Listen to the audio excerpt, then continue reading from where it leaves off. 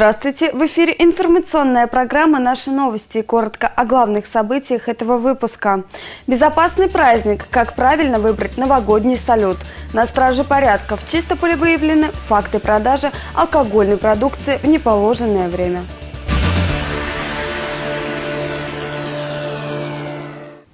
В минувшие дни в Большом зале администрации прошло сороковое заседание Совета Чистопольского муниципального района, на котором депутаты, как всегда, обсуждали ряд наиболее актуальных вопросов. Подробности далее повестке дня 40-го заседания Совета Чистопольского муниципального района стояло несколько вопросов. Основные из них касались программы социально-экономического развития, а также бюджета района на 2015 и плановый период 16 и 17 годов. По словам Лисан Кашаповой, заместителя руководителя исполнительного комитета района по экономическим вопросам, динамика снижения цен на нефть, ослабление позиции рубля по отношению к евро и доллару не могут не отражаться на жизни населения, его доходах, особенно на экономике муниципального района республики в целях снижения рисков, влияющих на экономику республики, ведется работа экономического совета при кабинете министров. На заседании совета рассматриваются наиболее актуальные вопросы. В настоящее время ведется реализация принятых решений. Это разработка и реализация отраслевых программ импортозамещения и мер по продвижению товаров местных производителей на рынке. Также обеспечение доступа республиканских производителей к государственным и муниципальным закупкам – закупкам регулируемых заказчиков и корпоративным закупкам с использованием электронного каталога. Согласно прогнозу социально-экономического развития на ближайшие три года, в 2015-м валовый территориальный продукт составит свыше 15 миллиардов рублей. Это чуть больше, чем в текущем году. Индекс промышленного производства в районе прогнозируется на уровне 110%, а валовые продукты сельского хозяйства, по мнению экономистов, должна составить более 3 миллиардов рублей. Утвердили депутаты основные характеристики бюджета на 2015 год. Объемы доходов и расходов муниципального района в следующем году будут равны. У депутатского корпуса было очень большое, много вопросов в части, вносим ли мы изменения в свой бюджет в связи с тем, что изменяется политическая и экономическая ситуация как в Российской Федерации, так и в Республике Татарстан. На сегодняшний день эти изменения учтены. Но и было бы, ну, наверное, трудно сказать, каким образом повлияет изменение экономической ситуации на текущую обстановку 2015 года. Поэтому в республике недавно проходила коллегия Министерства финансов Республики Татарстан с участием министра финансов Российской Федерации. И было принято решение на основании этой коллегии, что изменения в бюджет а, будут внесены уже по истечении первого квартала значит, 2015 года в случае, если показатели бюджета будут серьезно задействованы и изменены в связи с изменениями экономики предприятий, ведущих предприятий, значит, как республики, так и района. Также на заседании депутаты Совета района единогласным решением на должность председателя Палаты земельных и имущественных отношений муниципального района назначили Владимира Пещерова, который являлся помощником депутата Виктора Смыкова. До него председателем палаты была Алсу Сахарова. Она оставила должность в связи с переходом на другую работу. Буквально на днях в перинатальном центре города Чистополя прошел обучающий семинар по теме «Преждевременные роды. Акушерские кровотечения». Данный семинар посетили и многие специалисты с разных уголков Татарстана. Более подробно расскажет Елена Зюлина. Одной из приоритетных задач современного акушерства является обеспечение благоприятного исхода беременности и родов как для матери, так и для ребенка. Как известно, все новорожденные дети уязвимы, но преждевременно рожденные особенно. Поэтому большое внимание уделяется именно выхаживанию детей, рожденных даже на 22 неделе, с минимальным весом в 500 грамм. Вот перешли на, еще в 91 году на новые критерии ВОЗ – когда регистрация новорожденных с массой тела 500 грамм, когда они имеют право быть на выхаживание, на жизнь, стала реализовываться уже вот эти 20 с лишним лет в России. Было интересно сказано главным акушер-гинекологом страны, а потом президентом Российской ассоциации акушер-гинекологов – за все сложные годы только в одной области медицины был достигнут прогресс, который позволил нам на мировом уровне уже это подчеркивать. Это в службе акушерства, гинекологии и перинатологии. Проблема преждевременных родов сегодня как никогда актуальна, причем не только в нашем городе, но и в республике, стране и мире в целом. И именно этой теме был посвящен состоявшийся в Чистопольском перинатальном центре республиканский образовательный семинар. В его работе приняли участие врачи-акушеры-гинекологи Алексеевского, Новошишминского, Нурлатского и других муниципальных районов. Участники семинара прослушали лекции доктора медицинских наук Ильдара Фаткулина по темам эффективное введение ранних сроков беременности как профилактика поздних осложнений и организационные и лечебные аспекты помощи при акушерских кровотечениях. Очень необходимо, э, э, необходимо и акушер-гинекологам, и неонатологам э, ежедневно выполнять свои знания в плане новой информации, которая меняется сейчас ежедневно. И поэтому новшество, которыми делятся сегодня профессора, позволит нам еще более углубиться в наши знания и получать не только знания, но и навыки, потому что они проводят мастер-класс по преждевременным родам, по акушерским осложнениям и по оказанию помощи после родовой женщины. В последние годы в Чистопольском перинатальном центре количество детей, рожденных раньше положенного срока, по словам медиков, держится на одном уровне. Это 5% от всех принятых родов на всех всех сроках беременности. Все старания врачей и младшего медперсонала направлены сегодня на то, чтобы максимально приблизить условия пребывания недоношенных детей к внутриутробным. Сложнейшее электронное оборудование оснащено по последнему слову техники, позволяет не только создавать необходимые для ребенка условия, но и выполнять часть еще не созревших функций организма. На этом оснащение Чистопольского перинатального центра не останавливается. Буквально несколько дней назад он стал обладателем еще и шести реанимационных систем. Это очень замечательная система, которая, в которой есть световое оснащение, обогрев, где мы можем задать температуру, при котором данная система должна нагреться, и, соответственно, она регулирует температуру тела новорожденного. Мы можем включить таймер, который позволяет нам отсчитывать то время, которое нам отведено для реанимации новорожденного. По стабилизации состояния ребенка новорожденный переводится в палату интенсивного наблюдения и реанимационной помощи в дальнейшем. Подведем итог. Развитие медицины такого направления, как гинекология, акушерство, перинатология, идет семимильными шагами вперед. То есть сегодня делается все, чтобы обеспечить благоприятный исход беременности без каких-либо последствий как для мамы, так и для ребенка. По всей республике полицейские ведут оперативно-профилактические работы по декриминализации сферы оборотов алкогольной продукции, нередки случаи выявления и фактов нарушения закона. Подробности далее. За один день полицейские выявили два факта нарушения законодательства, согласно которому запрещается продажа алкогольной продукции с 22 до 10 часов утра. Вчера около 9 часов в магазине «Алан» продавец реализовал покупателю бутылку пива. В ходе оперативных мероприятий данный факт был зарегистрирован. На руководителя торговой точки составлен административный протокол. Еще один факт продажи спиртосодержащей продукции до 10 часов был зафиксирован в магазине «Универсальный». Там продавец, даже не взглянув на время, продала покупателю две бутылки пива «Балтика». Видимо, такие предупреждения в этих торговых точках развешаны для галочки. Некоторые представители малого бизнеса в погоне за минутной выгодой а, продолжают допускать факты реализации алкогольной продукции как после 10 часов вечера, так и до 10 часов утра. Как показало недавно проведенные контрольные закупки в двух торговых точках нашего города, данный факт продолжает иметь место, в связи с чем на данных индивидуальных предпринимателей, либо директор магазина – будут составлены протокола об административном правонарушении, предусмотренной частью 3 статьи 14.16 КОАП РФ. Кроме того, что руководителям торговых точек придется заплатить штраф от 5 до 10 тысяч рублей, сотрудники полиции изъяли из магазина всю алкогольную продукцию до решения суда. Посчитайте, какой ущерб несут руководители магазинов из-за сиюминутной выгоды продавца. Может, стоит работать честно, не нарушая закон?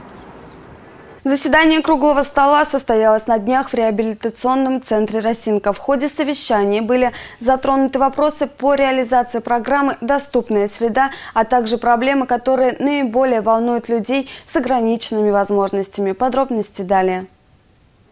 Люди с ограниченными физическими возможностями обладают безграничными талантами. Такими словами открыла заседание круглого стола Валентина Хуснудинова, руководитель общества инвалидов. В нем сегодня существует несколько клубов по интересам. Это «Хозяюшка», литературное объединение «Вдохновение», спортивные кружки, каждый из которых имеет на своем счету уже немало побед в конкурсах и соревнованиях разного уровня. Практически ни одно мероприятие в республике не обходится без участия чистоты чистопольцев. В некоторых видах спорта они не уступают пальму первенства никому в республике. В этом году обществу инвалидов муниципалитетом было передано здание, в котором они будут располагаться после ремонта. Как выяснилось, основной проблемой для людей с ограниченными возможностями является городской транспорт. Многие инвалиды-колясочники не смогли посетить некоторые экскурсии ввиду того, что попасть в автобус для них стало нереальным испытанием, которое пройти они так и не смогли. И в связи с этим на повестке дня стоял актуальный вопрос по реализации программы «Доступная среда». Те проблемы, которые существуют наверное, у людей с ограниченными возможностями, э, мы не должны их знать воочию. Хотя вот в республике проводится огромная работа по этому вопросу, да, вот э, доступная среда, тратятся огромные деньги. Э, на последней конференции президент сказал очень жестко, когда сделали проверку значит, о доступной среде, посмотрели эффективность ее, оказалось, что часть вот эта выполненная работа, она ушла в никуда. Важно при составлении новой программы ваше мнение, где непосредственно необходимо это сделать, где непосредственно в первую очередь это сделать и куда нужно направить наши общие усилия. Приятным завершением встречи стало поздравление Дмитрия Иванова, номинантов Международной премии «Филантроп». Участием в ней инвалиды показали, что способности у них безграничные. Это люди, которые умеют делиться своим даром с окружающими, сопереживать другим и любить их, общаться и стараются не зацикливаться на своих проблемах. С 15 декабря по 10 января в республике введен особый противопожарный режим, согласно которому использование пиротехнических изделий разрешено только в специально отведенных для этого местах. Где чистопольцы смогут запускать новогодние салюты и как их правильно выбрать, расскажет Гузель Гумерова удостоверение на обучение по пожарно-техническому минимуму и обязательные сертификаты на пиротехническую продукцию. Все это необходимо предъявить продавцам салютов и фейерверков во время специальных рейдов. Их сотрудники отделов надзорной деятельности МЧС проводят ежегодно в преддверии новогодних праздников. Цель таких проверок – выявить несанкционированные места реализации пиротехники и соблюдение продавцами мер пожарной безопасности а также исключение попадания гражданам в руки несертифицированной продукции – которое может привести к взрыву непосредственно в руках граждан, что может привести к трагическим последствиям. Продажей салютов, петард, фейерверков Андрей Матвеев занимается 8 лет. В его магазине с документами полный порядок. Впрочем, как и самой пиротехнической продукции. Индивидуальный предприниматель точно знает, какие изделия наиболее безопасны в использовании. Салюты он приобретает только у официальных и проверенных поставщиков. Особое внимание при покупке пиротехники Андрей Матвеев советует уделять инструкции на упаковке и срок годности. У каждого, да. даже до, до самого маленького написано, до какого года. Угу. Вот 16 год, то есть на самой маленькой. Каждому покупателю здесь в тончайших деталях объясняют, как нужно пользоваться тем или иным пиротехническим изделием. Это обязательные требования безопасности для тех, кто продает пиротехнику. И еще для того, чтобы обеспечить безопасность жизни людей и их здоровья в период новогодних праздников, и чтобы использование пиротехники не привело к трагедии, в республике объявлен особый противопожарный режим – Пройдет он с 15 декабря этого года по 10 января следующего. В рамках особого противопожарного режима а, категорически запрещается пользоваться пиротехническими изделиями ближе тысячи метров от промышленных предприятий, от транспортной инфраструктуры, а также 100 метров от объектов сельского хозяйства, от объектов а, с массовым пребыванием людей. В городе Чистополь определено одно место для запуска пиротехнических изделий. Это стадион «Восток». Уважаемые жители города, берегите себя и своих близких от огненной беды. И помните, что этот новогодний вечер лучше провести без происшествий, потому что пиротехнические изделия могут э, привести к трагическим последствиям. Далее реклама, и сразу после нее мы продолжим. Не переключайтесь.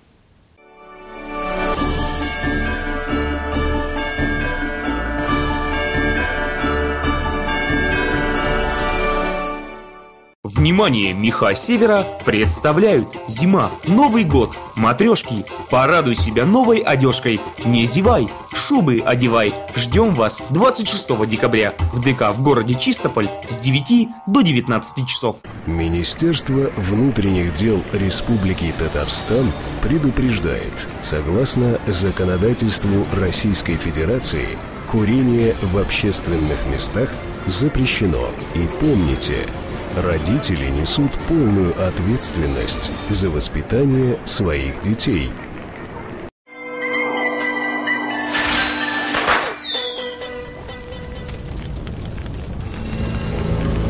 В новогодние праздники будьте внимательны с открытым огнем. Встречайте Новый год без пожаров. Электронные государственные услуги. На портале услуги.татарстан.ру Через информаты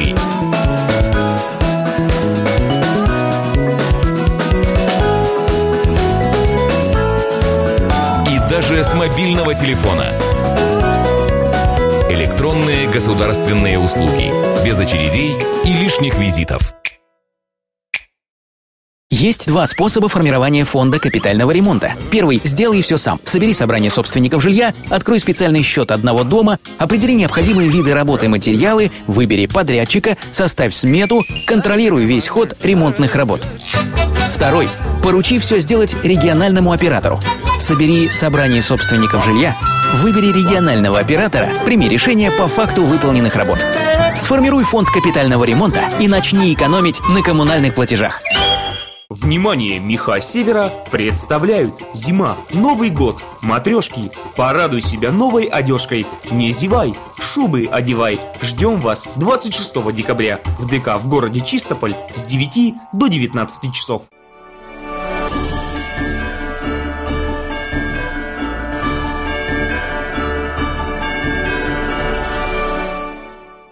До одного из всеми любимых праздников осталось буквально две недели, потому во всем городе проходят новогодние представления для детей.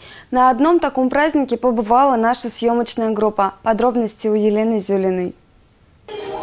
Звонкий смех детей, новогодние песни и пляски раздаются по комнатам Чистопольского музея истории города. В главном зале, в самом его центре, красуется новогодняя елка, и вокруг нее разворачивается необычная сказочная история. По уже сложившейся традиции Баба Яга подготовила очередную пакость. Она похитила главных гостей этого праздника – Деда Мороза и Снегурочку, из-за чего не может наступить долгожданный Новый год. И только дети могут победить злую бабушку и вернуть любимый праздник. Ученики второго класса третьей гимназии с радостью принимали участие во всех забавах, предлагаемых Егой, и ни в чем ей не уступали. В итоге, как и полагается в сказках, добро победило зло. Баба Яга встала на путь исправления и вернула детям дорогих героев.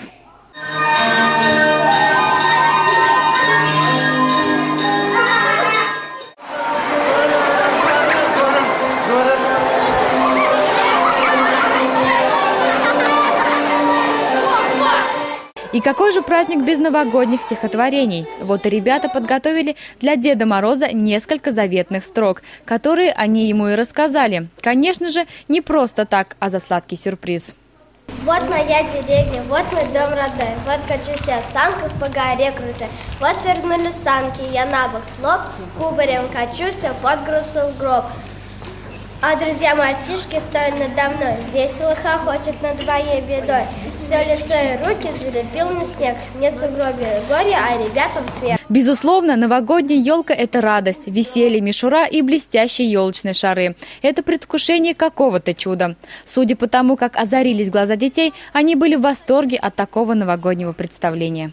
Сегодня было весело на этом празднике. Мне очень сильно понравилось. Мне понравилось тут танцевать, петь песни. Сегодня было хорошо. Даже рассказали стихотворение, получили подарки. Здесь очень весело. Да, и к слову, эта елка отличалась от своих аналогов тем, что сотрудники Музея истории города организовали в преддверии Нового года необычную выставку под названием «История елочных игрушек». И этих школьников работники музея перед новогодним представлением одними из первых провели по периодам неподражаемого мира елочных игрушек. Это были все новости на сегодня. С вами была Ангелина Буренина. Всего вам хорошего и до свидания.